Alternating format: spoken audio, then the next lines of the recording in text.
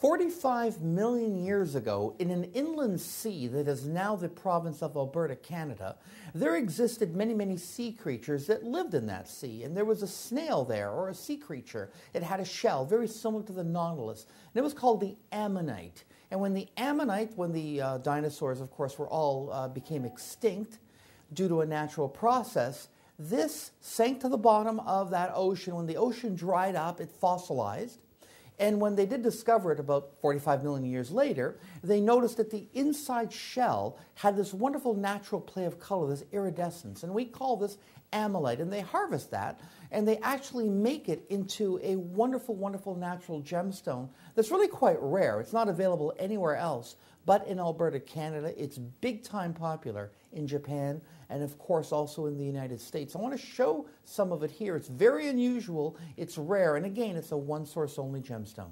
This is an actual ammonite. Now, this is a small one. Of course, they can get very, very large. They can get the size of a basketball or even larger.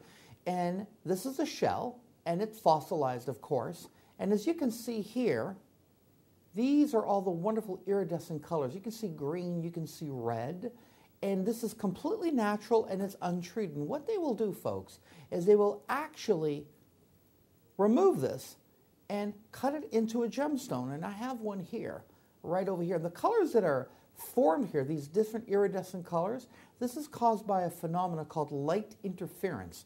Do you ever notice when you're playing a CD, you can see all the different colors of the rainbow? Well, that is caused by a phenomenon called light interference. And this is how you're getting the reds and the greens. Now, this is called lizard skin.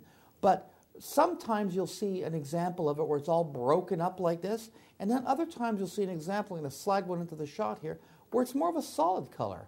And this is all completely natural. These undergo no treatment whatsoever. This is called ammolite, and it's made from the ancient sea creature called the ammonite that existed around 45 million years ago. If you like to touch the past, then you'll love Canadian ammolite.